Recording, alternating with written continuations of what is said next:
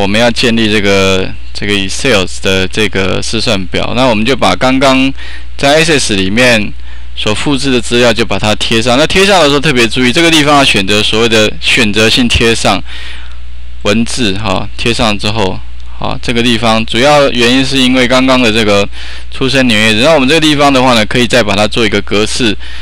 蓝的地方可以自动调整啊，它会自动帮我们调整成一个比较适合的蓝宽。接下来呢，我们要来看一下，就是说现在还缺少哪些资料？那根据我们刚刚这个在范例里面哈所知道，就是需要哪些这个这个资料。那特别注意就是说呢，首先我们可以看一下，就是在出生年月日这个地方呢，它呃在 Excel 里面呢是连续的。这个六个六个数字，那这里的话呢，我们必须把它改成每一个数字切分科分开来哈，变成每一个单独独立的一个数字。那我们怎么可以做到这样的一个效果呢？首先呢，在出现日的这个右方哦，再插入栏哦。那这边的话，总共要插入啊六个六个哈六个栏位。好，那插入六个栏位之后的话呢，其实这边有一个很很好用的功能呢。这里首先我们把这个栏位稍微把它调整窄一点哈，把它窄一点。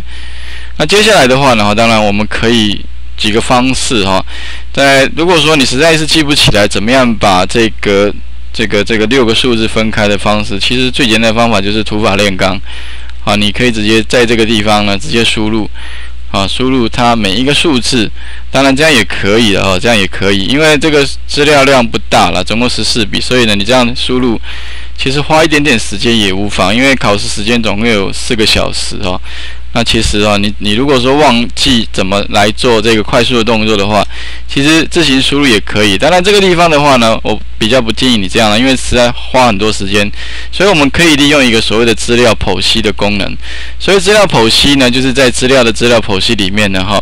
然后我们在这个地方的话呢，其实可以利用它的这个功能哈，选择一个固定的宽度之后的话，你再把它点在这个地方，这个地方直接按下一步哈。下一步之后呢，那各位可以看到这边就可以直接。用点的方式就可以把每一个整个总共六个数字呢，把它分割开来。分割开来之后，他问你说你要把这个资料放在哪里，你就直接直接点选在这个一二的这个储存格里面啊，并且就把它按完成，它就会自己哈把资料呢通通。啊，就把它分割开来，并且放在适当的位置上面去。那当然，接下来我们在上面加加入这个所谓的它的栏位的名称。好，那接下来我们就输入完毕这个栏位名称之后，那再来我们还缺哪些栏位呢？刚刚有讲到哈，在这个资料里面呢，我们已经完成了这个好年月日之后的话，那接下来我们还缺所谓的性别，性别的部分呢？这个地方呢，我们可以利用身份证字号来做产生。那我们可以在这个身份证号的右方插入一栏哈，给它一个栏位的名称叫做性别。那性别的部分，当然哈方法很多，不过呢，我是建议你直接最简单的方法，直接就 key in 上去就可以了哈。比如说这个地方的话呢，在身份证第二码一的话就是男生，二的话就女生。那比较快的方式是直接哈，全部都男生之后的话，在第二个这个女生的地方呢，把它改一下。那并且哈，用最简单的方式就是 copy 贴上的方式就可以，Ctrl C 是复制，Ctrl V 就贴上。那这样的话呢哈，其实很快就可以把这个部分给完成了，这样就完成了性别的部分哈。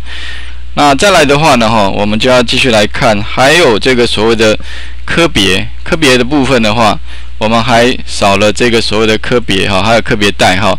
那科别名称，我们把它改一下好了，改成科别名称。那科别名称前面呢，再插入一栏，叫做科别代号，啊，科别代号。好，那科别代号的这个对应方式呢，那各位可以参考一下，在其实你的这个。这个试题本里面呢都有哦，这个对应的关系。那刚刚我们也看到，其实在这个对应的关系，我们可以查到在这个第十七页的地方哦，那分别就可以把它对应上去。比如说第一个美容科的话就是五零四哈，所以你这地方的话呢，就可以自自行把它输入五零四。好，那五零四当然。这个地方下一个也是五零四哈，当然你可以把它复制，这个也是五零四。再来的话就是国际贸易，可分别把这些完成。好，那课别代号部分就输入完毕。再来的话，我们还要缺一个所谓的入学资格。好，入学资格这个栏栏位的话呢，各位可以看一下入学资格。那零零一就是毕业，零零四就是休业。另外两个其实应在在这个题目里面是用不到的哈。那这个入学资格栏位啊，各位可以看到在这个地方入学资格，所以我们就加入一个毕业国中右方再加入一个入学资格的一个栏位名称。然后呢，一样的方式，当然毕业是零零一，好，这里的话呢，我们休业是四，好，那毕业的话，当然你可以直接，如果看看起来休业的比较多的话，你就直接拖拉哦，直接往下，然后看到。毕业的时候呢，就是一，然后呢，毕业就是一，休业的话呢，就是四啊。特别注意，还是要比对一下哈，这个地方，因为只有十四笔，所以啊，其实最好是反复的验证一下。好了以后的话，那我们就完成我们需要的这些栏位哈。那这个地方的话呢，再检查一下，看看是不是全部都是我们要的哈，包含就是学号。好，那这样的话呢，就完成 Excel 的部分。最后特别注意哦，在题目里面呢，还有一个地方就是需要我们做排序的动作，而且是利用学号来做排序。所以我们来检查一下是不是按照学号排序。好，因为已经按学号排序啊，不过还是要确认一下。如果说不确定的话呢，记得啊，这个地方再利用这个所谓的排序，然后按照学号的部分呢，我们把它按一个，就是按递增排序。好，那这里的话呢，我们就完成 Excel 的部分。